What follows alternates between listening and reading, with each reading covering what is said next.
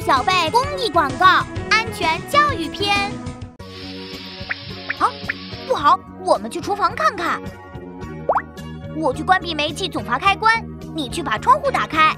嗯，还是有煤气味，开下排风扇。煤气泄漏，千万不能开灯、开抽油烟机和排风扇等电器设备，更不能点火，也不能在室内拨打电话。我们出去打紧急电话，告诉大人。嗯，你们做的真棒。煤气泄漏善处理。